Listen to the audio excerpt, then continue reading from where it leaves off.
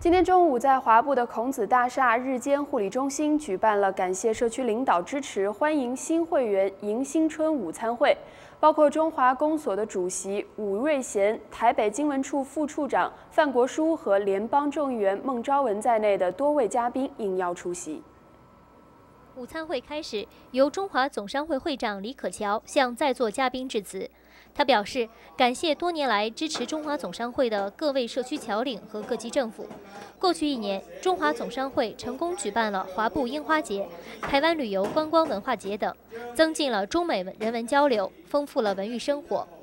今年的樱花节将在四月二十六日在华埠孔子大厦广场举行，希望中华总商会的新老会员可以齐心协力办好今年的樱花节。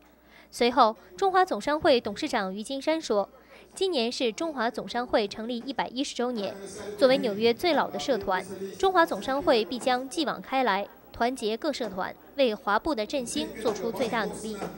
台北经文处副处长范国书作为嘉宾，在致辞中说道：“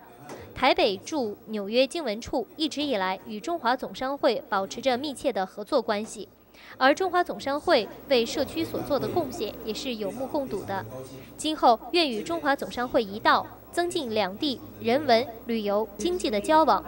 最后，联邦众议员孟昭文说道：“自己虽然是在法拉盛选区，并不能参与华埠的工作，但是中国城强大则华裔强大。他希望法拉盛与华埠这两个华裔大社区可以并驾齐驱，共同发展。”